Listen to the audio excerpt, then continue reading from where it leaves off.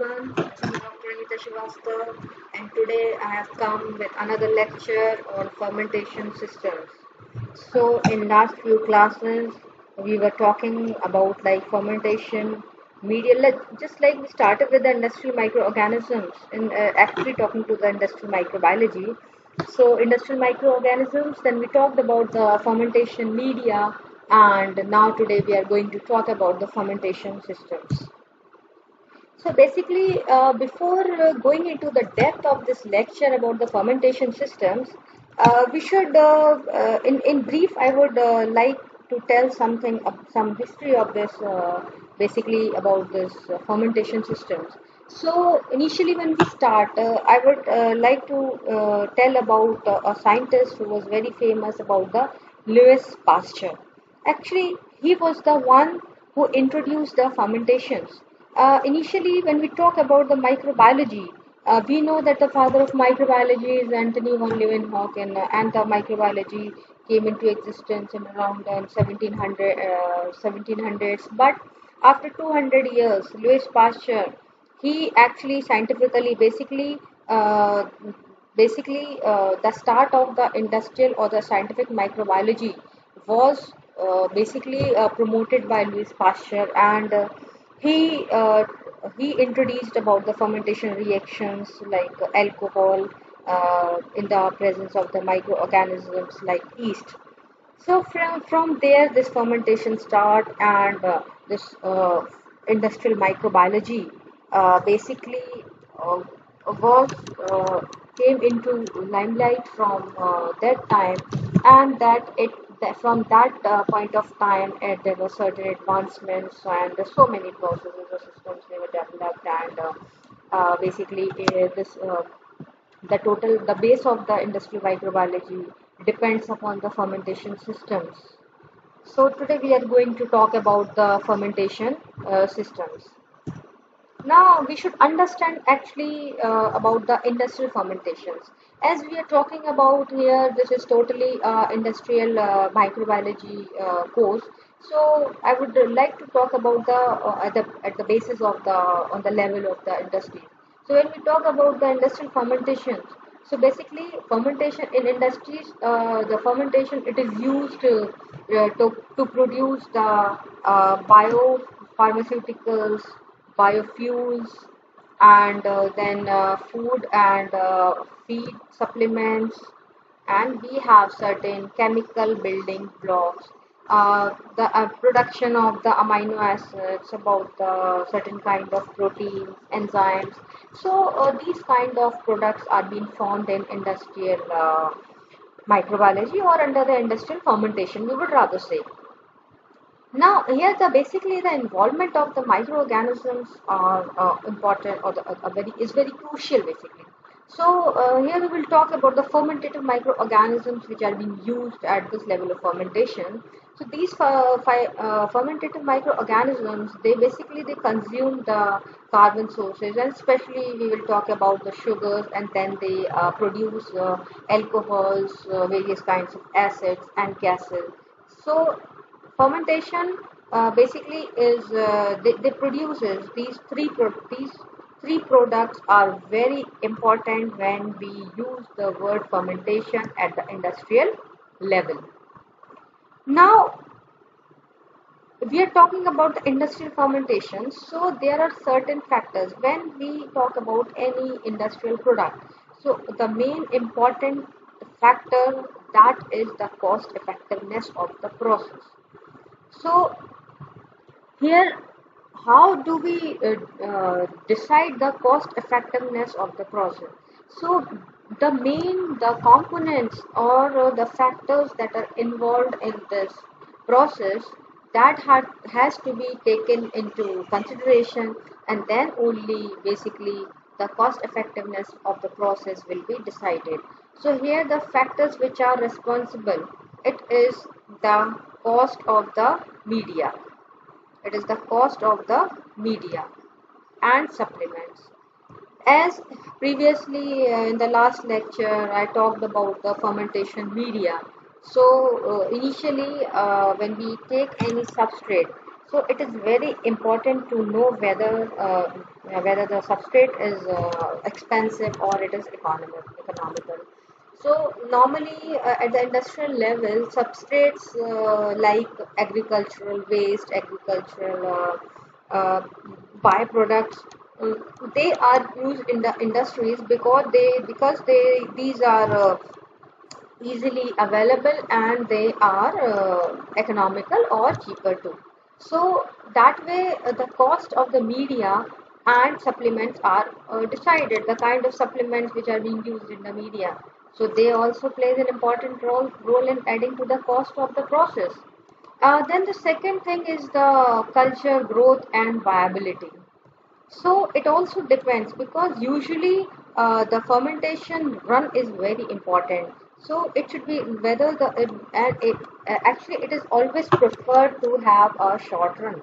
So culture growth. So cultures microorganisms are uh, just uh, they are looked for their uh, basically their fermentation time as shorter will be the their uh, fermentation or the growth time uh, the shorter will be the process uh, that will be carried out and second thing the viability how the potential of their viability how much viable they are means how long they can be viable during the process.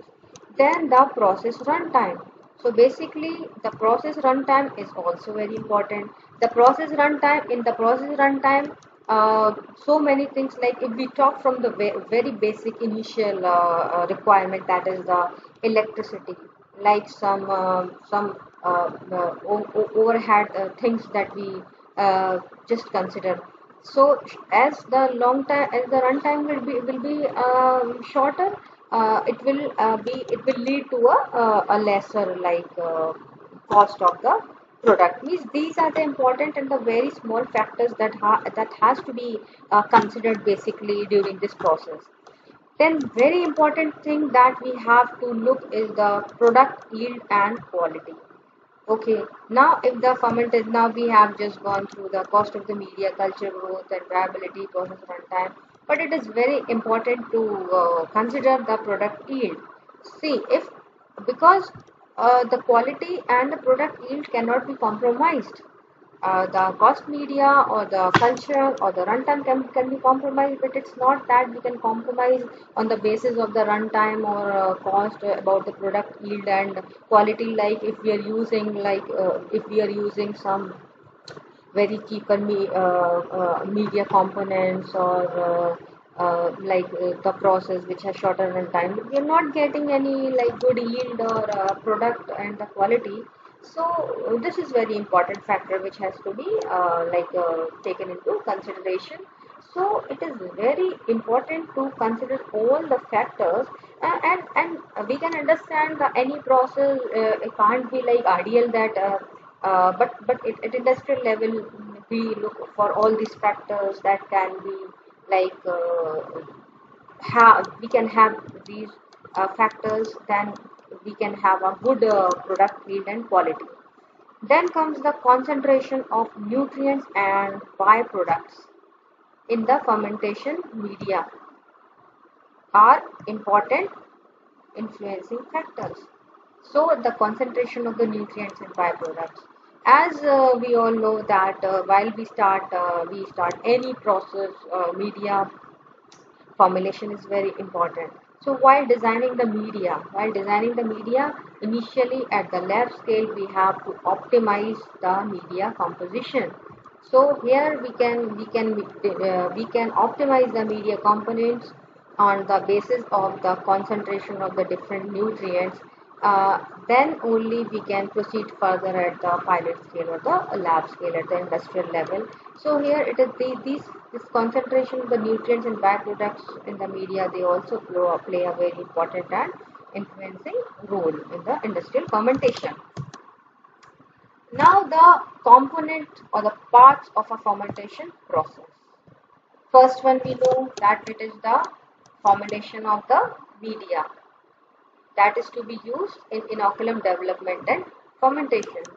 So, in the, at, at coming to the industrial level, basically a lot of research has to be uh, done uh, during the lab scale and then only the process which is uh, viable which is like feasible to be used at the industrial level can be taken up at the industrial level then second thing com comes the industry uh, the sterilization of the medium and uh, fermenters so uh, sterilization also is a very important uh, process and sterilization of the medium is, is also very important because once sterilization is proper uh, then only a clean and clear process can be done.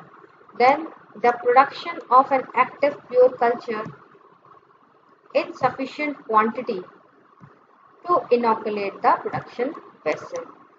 Now it is very important to inoculate or to have the inoculum with a pure culture. So the culture should be pure, it should be active and in sufficient quantity. So basically inoculum is very important during this process. So initially at the time when the inoculum, at the time of the cultivation of the inoculum, the culture should be tested in between just to understand whether the culture is pure or not. Then the growth of the organism in the production fermenter under optimum conditions for product formation. So when we talk about any industrial or the microbiology or any uh, like uh, fermentation process, optimum conditions or optimization is very important. When we come to any process, a lot of studies or experiment has been done has been done on optimization. So the optimum conditions should be standardized during a process in the fermenter at the uh, industrial level. Then the extract then the extraction and of the product and its purification. So after the fermentation process. So up till here, up to these four points, actually we were talking about the upstream. We were talking about the upstream. Upstream means we are carrying out the fermentation process we are getting the cells or product or whatever is the requirement as per the uh, uh, as per the product formation so now comes the downstream actually this extraction and the and the purification of the product is actually comes under the it comes under the downstream processing so, uh, in, we will be talking in detail about this extraction and the purification process in the next in the uh, next lecture of uh, downstream processing. Then the last thing that is very important is the disposable effluents produced by the process. So the disposable is very important because as with the fermentation, uh, the generation of lots of microorganisms about the media, so there are so many things about the waste is there after taking uh, you uh, after taking the uh, basically the interested uh, product or the sales of the product then the disposal of effluent has to be done. So it is very important that how safely this disposable of effluent has been done and basically uh, the cell free media or the or basically uh, the cells the debris of the cells they have to be disposed very carefully. So uh, these are the components of the uh, basically the important component parts of a fermentation process. Now the major groups of commercially important fermentations. So now during uh, when a fermentation process is taking place. So the major groups that are to be taken into consideration during this fermentation process the first one, those that produce microbial cells or biomass. Production of microbial cells or biomass as the product. So, if the need of the process is for the microbial cells of the biomass, there may be the need of the microorganisms. Product of interest might be the microbial metabolites. Then recombinant products and those that can modify a compound which is added to the fermentation, the transformation process. So these are the things that may be uh, required as per the uh, as per the basically the requirement of the fermentation process. Uh, these are taken into consideration. Now, up till now we were talking about uh, the about the fermentation and about the uh, components, the media. Now, coming to the main content of this uh, talk, uh, we, are, we will talk about the fermentation types. So there are actually three types of fermentation used in industries for bioprocess development. So now when we talk about the bioprocess development, so bioprocess development includes a lot of factors.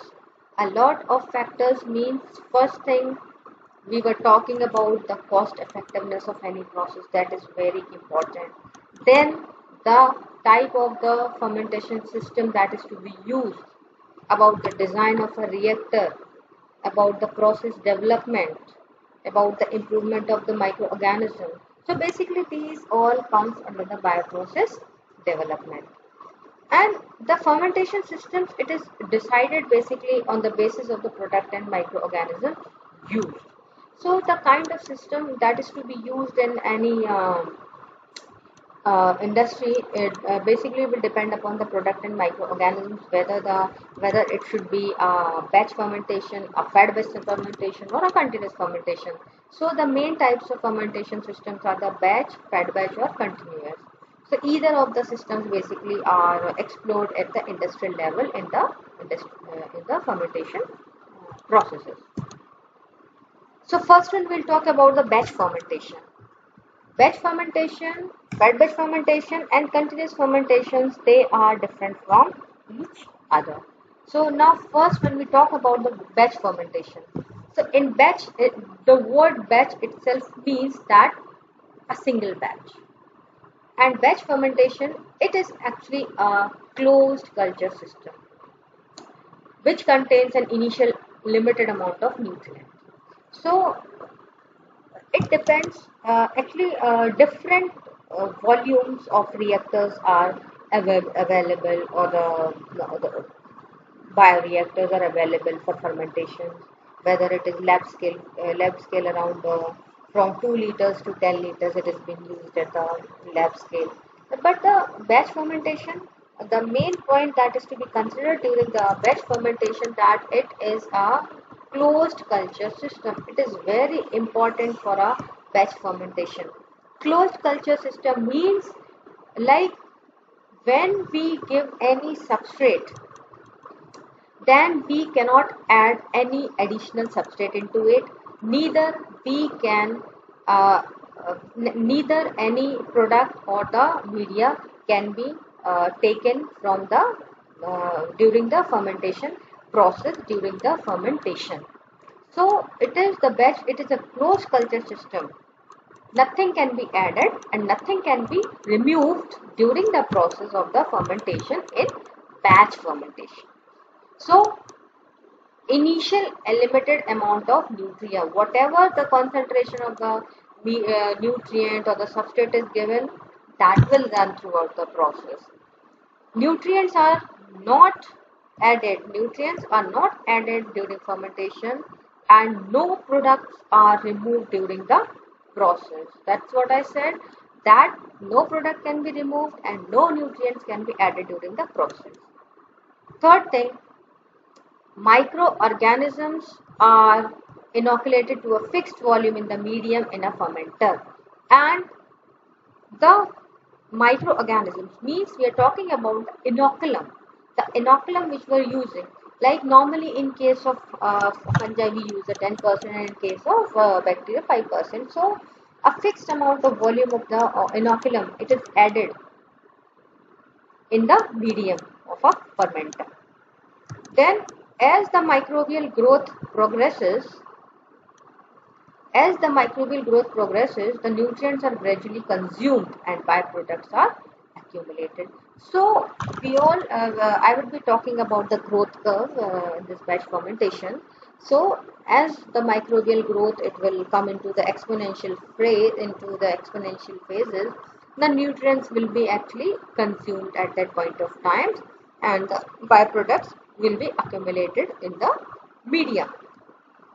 Then exponential growth phase, it lasts for few generations and then stationary phase reaches soon. So here uh, this uh, growth phase it is just ending with a few generations and but then it is maintained by the stationary phase as soon as the uh, carbon source will become uh, limited the the it will the growth will enter into the stationary phase and the exponential phase will last then other important parameters those have to be considered during the process are DO that is the dissolved oxygen temperature, pH and foaming.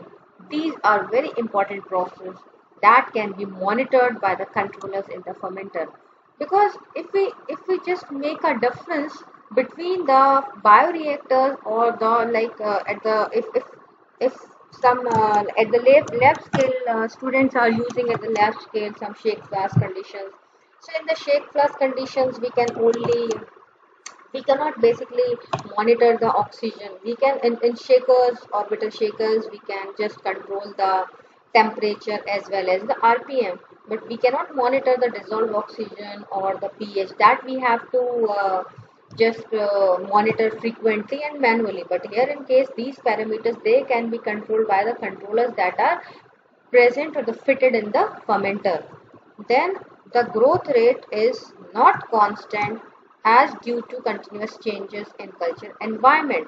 So we all know that since it is uh, since only uh, it is a closed system and no nutrient and no product can be so basically the growth the continuous changes in the culture environment it basically changes there's a, there is continuous changes because the components are being changing with the growth of the microorganisms so this is basically the microbial growth uh, curve in batch fermentation. We, uh, we all, uh, like in previous lectures, I have been uh, telling about this graph. This is basically the growth curve and the phases of the growth curve. And there are basically uh, four important phases uh, that are can be seen in this growth curve is the lag phase, log phase, stationary phase and a death phase. So clearly we can see in the lag phase that there is no increase in the cell number because at that point of time the microorganism doesn't grow because their machinery actually it is a uh, it is a adapt adapting condition basically. The machinery of the cell they synthesize the new components like uh, some cofactors ribosomes but as the lag phase uh, phase comes to an end starts our uh, starts are this log or the exponential phase. So here we can say that there is uh, increase in the number of cells and here we can see that the growth rate is, rate is constant. Microorganisms, they are dividing and doubling at regular intervals with a balanced growth. Then uh, the third phase is the stationary phase where we can uh, uh, see that the number of viable cells they actually remains the constant and uh, they result as a balance uh, between the cell division and the cell death means as many numbers of the cell are divided the cells are also uh, entering into the death phase.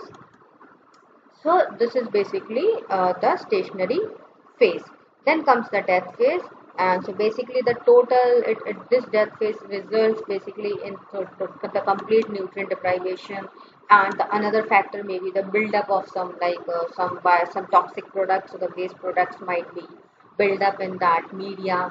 So uh, the microorganisms they may uh, result in a uh, death phase. So this is all about basically the microbial growth uh, curve and during the batch fermentation process. Now when we we'll talk about the fed batch fermentation.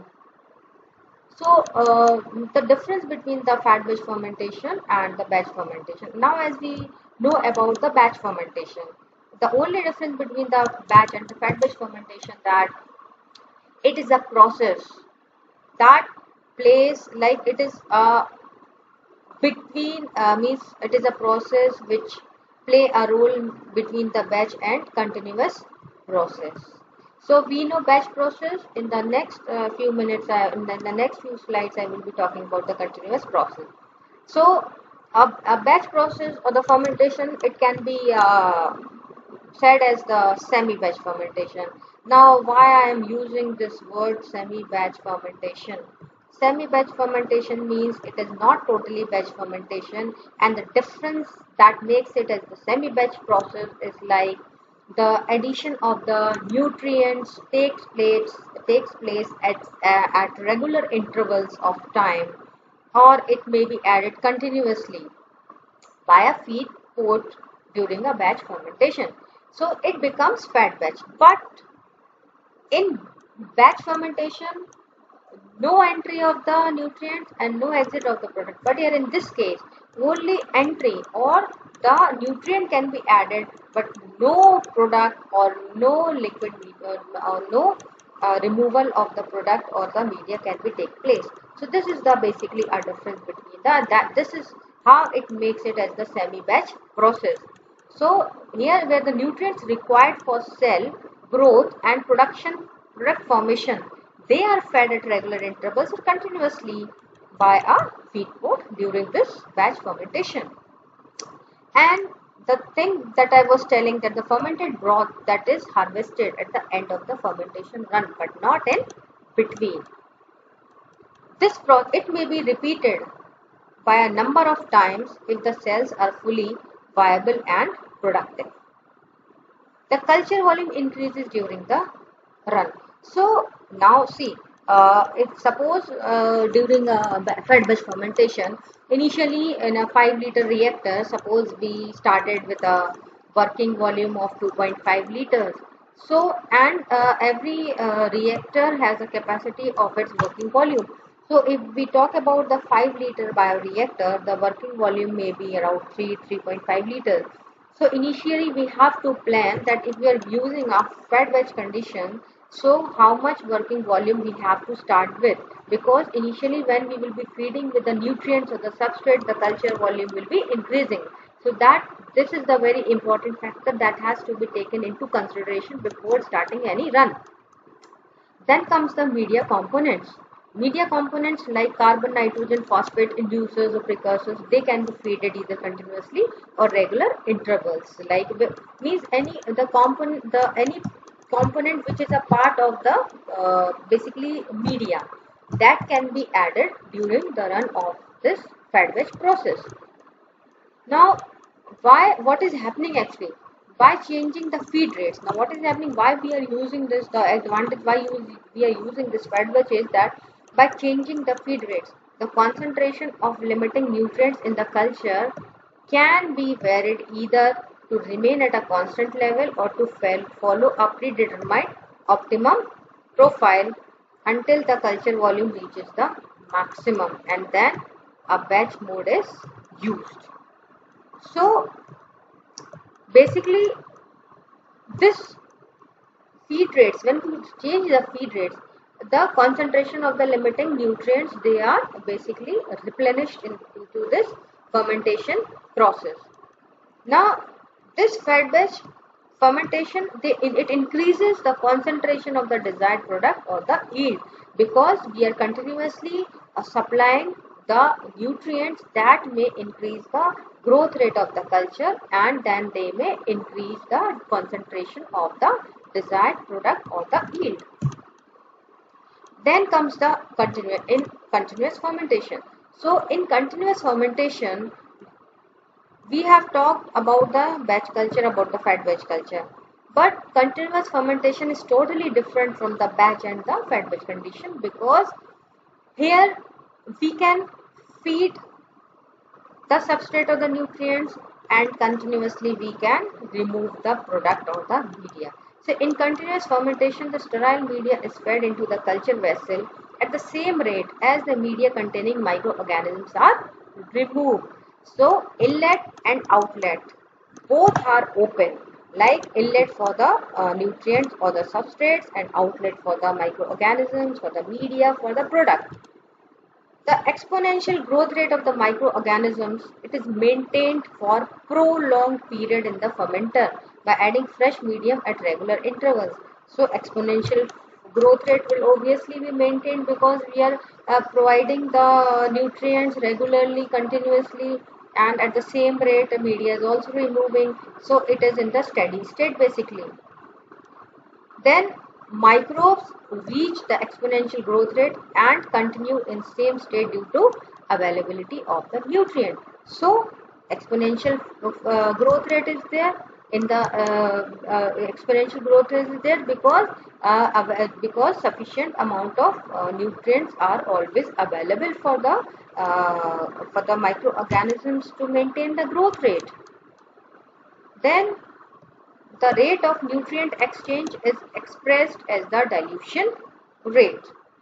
So what is dilution rate? The dilution rate is actually uh, defined as the D is defined as the F by V. So dilution rate F is the flow rate and V is the volume. So dilution rate may be defined as the flow rate that is flow rate of the media in ml per hour from the inlet and b the vessel volume the volume of the vessel. So it will decide actually the dilution rate of the medium so this is basically a diagram of the uh, continuous culture system where uh, this is a fresh medium control valve and uh, this is the inlet the medium that is being uh, introduced. And this is being entered into this culture uh, this is the actually culture vessel. And this is air filter and from this is the outlet from where the overflow or the uh, product of the microorganisms these, these are removed. Now this is actually uh, the design of a bioreactor and uh, these are the parts and the functions of the uh, fermenter. So here we can say uh, we can see in this uh, bioreactor there is the acid base port antifoam port. We have the basically inoculation pipe from where we can uh, put our inoculum. We have the oxygen sensors baffles and the, we have sampling port, compressed air unit, sterile air inlet and we have the probe, pH probe, temperature probe and we have the impeller. So basically first of all we start with the impeller or impeller is also known as the agitator. So its function it is basically to stir the media continuously and these uh, this impeller they prevent the cells from settling down basically if we keep something like uh, without uh, any uh, uh like uh, impelling or the rotating agitating then it will settle down. So the rule of the impeller that they prevent the settling down of the cells.